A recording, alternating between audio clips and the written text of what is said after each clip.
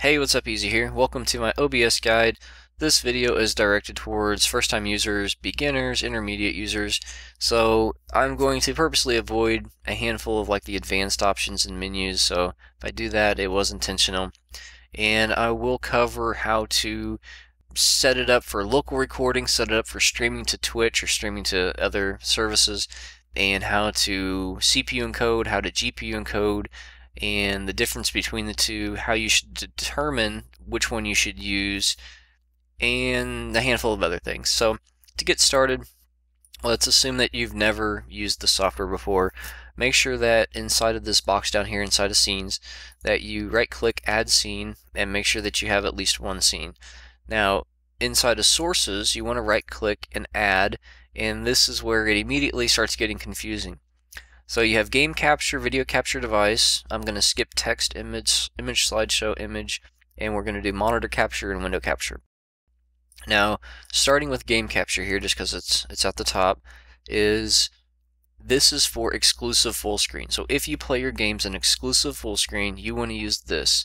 And when you use this, you want to double click it and make sure that the game is actually selected. And sometimes the game OBS can't hook into the game, so if that's the case, run OBS as admin. And a way you can do that without having to do it manually every time is just find the exe file, which is inside of the installation folder. Right click, go to properties, go to compatibility, and then just check this box, run this program as administrator. So it runs as admin every single time you open it. Now for window capture, this is the same concept except it only does windowed or borderless windowed. So this will not do exclusive full screen and then game capture will not do windowed. So usually people play the same thing all the time. They all, you know, they play all their games in borderless or all their games in windowed or all their games in exclusive full screen, but there are some games that don't have borderless and unless you use like a third party software you'll never run in borderless and then there's same some games that you know vice versa.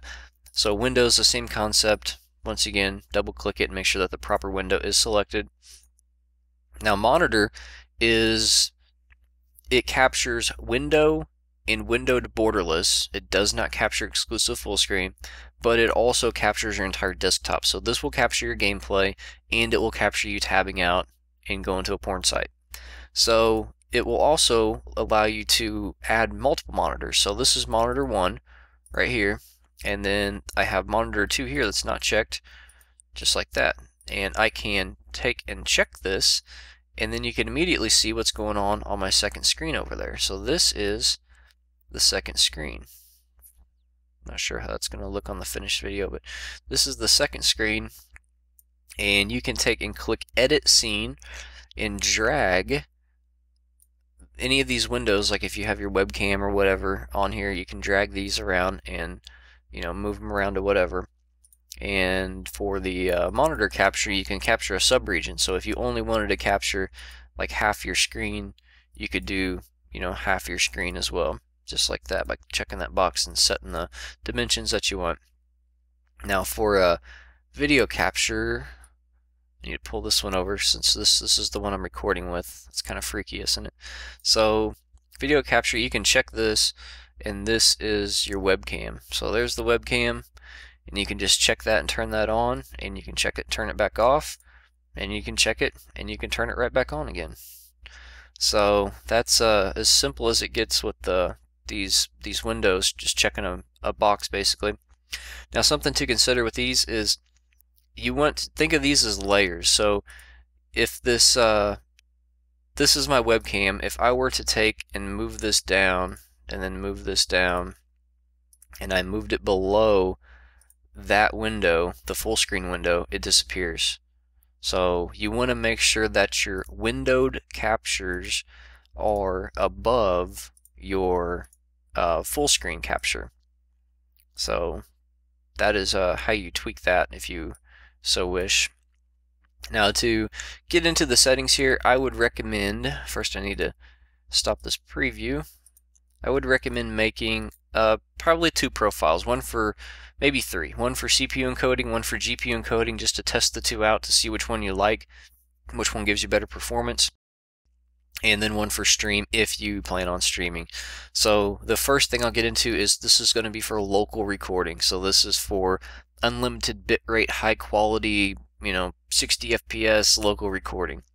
And first thing that you have to do is decide which type of uh, encoding you want to do. Do you want to do enco uh, CPU encoding or GPU encoding? And the difference between the two is as simple as if you check X264, that's CPU encoding. That means that like all this load that you see right here on each each thread, that is all from OBS. Like I have nothing else running. It's all OBS is putting this load on there. So this is uh, like 10% on a 12 thread CPU. That means it will probably be about mm, 20 to 25% maybe on like an i5. Like if you just had a regular i5. So that I mean that's a quarter of your CPU. So if you have, let's say, an i5 and you have a really like top tier GPU, like a 980 Ti or a Fury X or something, a 390X or something like that, then you might want to try this setting here. And this is, uh, for me, it's NVIDIA NVENC, and that stands for the NVIDIA encoder, and that is the H.264 hardware encoder chip that's built into the GPU. And for AMD, it has one as well to be called VCE, and I think it stands for Video Codec Engine. So if you have a, a high-end GPU, you might want to use GPU encoding over CPU encoding. Now, the difference between the two is it takes more bit rate to make a the same quality image using GPU encoding compared to CPU encoding. So more bit rate to make the same quality image using GPU encoding. So if you want max quality from your footage, CPU encoding is the way to go, but some people might be limited to, you know, using that setting simply because they don't have, you know, like a workstation processor or an i7, which is essentially what you need. You need like an i7, you know, quad core or the, you know, the 6 core or the 8 core i7 to get away with using CPU encoding and it not killing your frames per second. Anybody can do it. It's just how much FPS do you want to lose doing it. So onward with uh, these settings. Uncheck CBR, that's constant bitrate. Set the quality balance to 10, that's as high as it goes. This number does not matter because whenever you check use custom buffer and you set the custom buffer to zero, that tells it to be unlimited bitrate. So this is unlimited bitrate settings, which is what you should use for local recording. For the audio, just set the audio to uh, whatever you want. I I don't really feel the need to do um, the extreme bit rates and everything. The AAC is uh, more lossless than MP3. I'm not sure if AAC is lossless or lossy, but basically uh, you set this stuff just to kind of match this to whatever your settings are. So that's uh, 48, you know, kilohertz. Therefore, this is 48 kilohertz. It's about as deep as that goes. So for broadcast settings, for local recording, you want to have this set to file output only and then just set your file paths just like that. And if you want to use the um, like recapture my dank headshots moment type deal, you'd want to set this to the the file path for this as well and name it something different. And you'd want to set this replay buffer length, set that up to you know really high to you know whatever. You can see here that uh, how much it uses in your RAM. So if I were to take and set it to 1010 seconds, it uses 32 megabytes out of my 32,000 megabytes of RAM. So you can just set that to whatever basically. And then for the video tab, this one's pretty straightforward. Basically just, you know, tell it using this setting the monitor capture down here, I have it set to monitor 1, so it kind of just auto tunes the setting for you if you use it like that. But you can set it up to record, you know, your second monitor or whatever. Um, tweak the resolution if you wanted to for downscaling. Audio, um, pretty self-explanatory stuff in the audio. Hotkeys, I set my start and stop to the same key so it works as a toggle. Sometimes also the start and the stop, it does not work unless you're running as admin, so Another reason to be running as admin. Advanced, make sure this is checked. Use uh, multi-threaded optimizations. Basically, all this comes as default. The CPU preset, I'm pretty sure I bumped that up a notch. So the lower this goes, slow equals insane CPU load. Like this will, there's there's like not a CPU in the world that can run this on slower and actually game at a, you know, an enjoyable frames per second. So this will kill your CPU performance basically. Um, so I recommend using this on ultra fast, and then for like 60 FPS and uh, recordings for local, set this to high. Make sure CFR is checked, that's constant frame rate. If you don't have that checked, it will make your video and audio become out of sync in things like Premiere Pro if you dropped even like a couple frames. And then for this box here, this is uh, like a custom setting. It says CRF equals 15 and there's no spaces in there. And this is this is telling this like how high quality do you want the footage. So in my opinion, 15 at ultra fast is like really good quality. Like it's it's as good like if you put it next to lossless quality other than like the color shift and the color fading that's notorious with um, you know H264 you couldn't tell the difference now after you upload it to YouTube YouTube's going to transcode it and thrash it and you know kill the quality even more so there's no point in trying to get like the max quality out of all your you know recordings just because most of them are going to go to YouTube. YouTube's going to destroy it anyway so it doesn't matter. Now if you have let's say you have an i5 i5 I would recommend putting this at 20 so that's where I'd have it with an i5 if you have a quad core i7 I'd probably start it at 20 and then creep you know jump down to 18 and then maybe make like a sample recording of each time you do this and then compare them side by side and see if you can even tell. If you can't tell, the higher numbers the better because it's the lower CPU load, which means that that's, you know, more headroom for you to get like FPS in games, especially CPU intensive and dependent games. So you'll have to tweak that setting just a little bit or you can leave it unchecked altogether. Um, it comes unchecked by default. So we have the uh, quick sync encoder. And I think I might have skipped over this up here in this encoding tab. This is grayed out of mine because I don't have a an onboard graphics in my CPU. That's for the integrated graphics. And you can actually use this to encode with. So if you use that to encode with, you'll need to tweak these settings. And I can't really tell you how to do this because I don't have one. I can tell you CBR stands for constant bitrate and VBR stands for variable bitrate. And in general, variable bitrate is better than constant bitrate. So probably be using that if you do use this uh, setting. The, micro, the microphone noise gate is uh, just like if you have a hiss or a buzz in your mic, you can set these sliders to where like, you know, if my mic is, you know, louder than this, then, you know, come on. If my mic is not louder than this, you know, decibel threshold, then turn it off completely.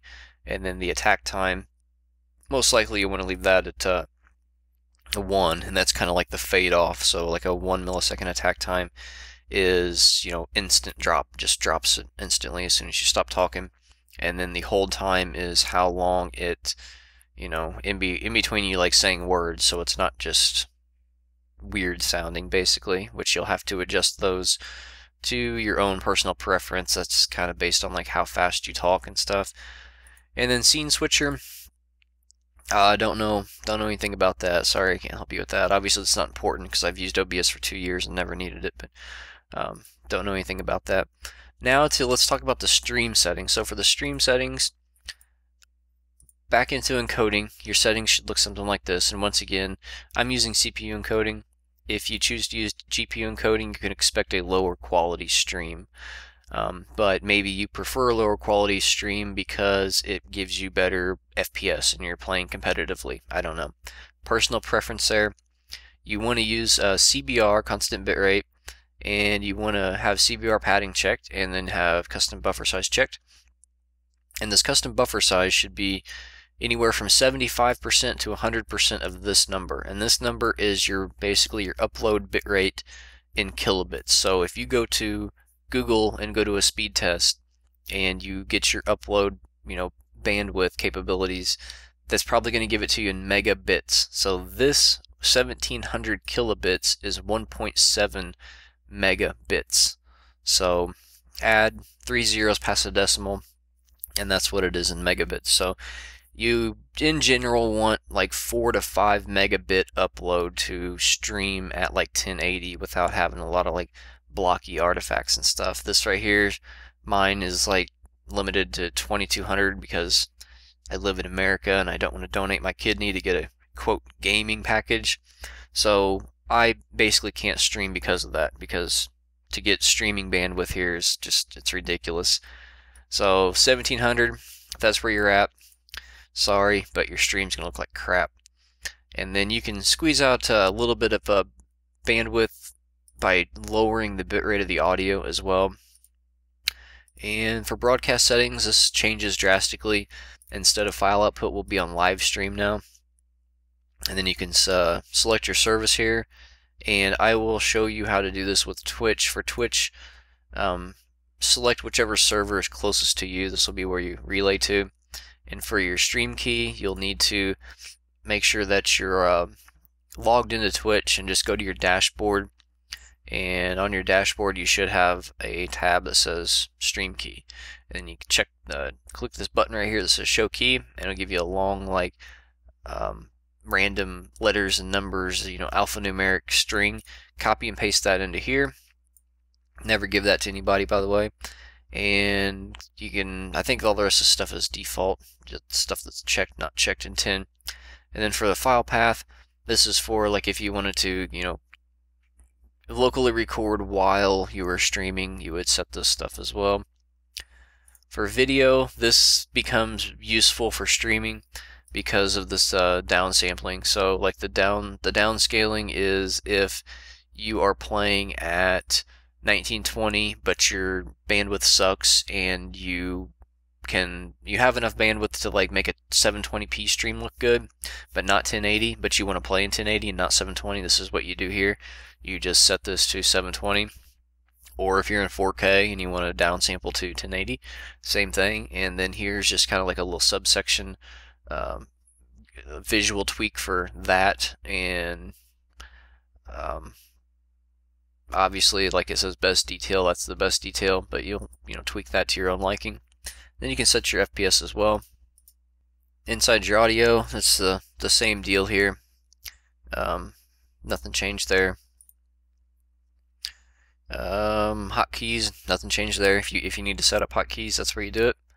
In advance, this is a little bit different. Make sure that the encoding profile is set to main and that is for compatibility for like mobile users and stuff. This is the decoding process to decode your stream and if you set this to high it will most likely work on everybody's PC you know 99.9% of the population that has a PC and is watching your stream on a PC but if somebody's watching your stream on a phone or a tablet or something and it's set to high, they might not be able to watch it or it'll stutter or whatever trying to decode the stream.